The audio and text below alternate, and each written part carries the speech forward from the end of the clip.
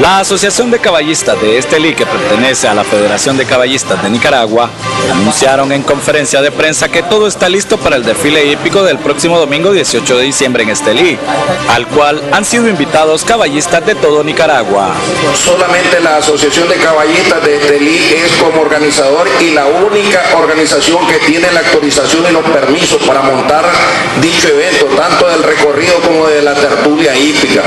Entiendo yo que los compañeros de caballistas del Club Hípico nos estarán acompañando, estarán desfilando con nosotros, pero los autorizados para montar el evento es la Asociación de Caballistas de Estelí. Como ustedes saben, pues el recorrido es el tradicional, ya hemos hecho la convocatoria, hemos hecho la invitación a todos los clubes hípicos de Nicaragua, por lo tanto esperamos como siempre un mar de caballos, 1500, 2000 caballos, igual estamos ya listos, ¿verdad? Con con las tarimas, que vamos a contar con tarimas de flor de caña, con tarima, la tarima de claro, el chinamo.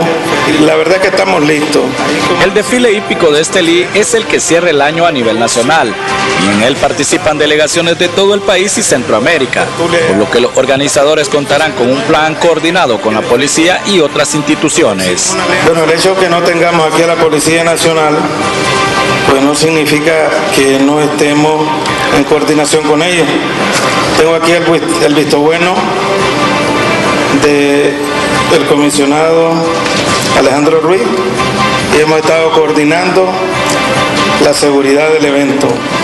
Hemos estado coordinando con ellos los permisos para vender licor e igual con el SINAPRED hemos coordinado también las rutas de evacuación y el hecho que no estén no significa que no lo hemos tomado en cuenta. Se espera que al desfile asistan al menos unos 1.500 montados, siendo los mejores corceles de las razas iberoamericanas, peruanas y españolas. Los organizadores esperan que a partir de las 2 de la tarde ya estén saliendo del Nacional rumbo al Parque Central.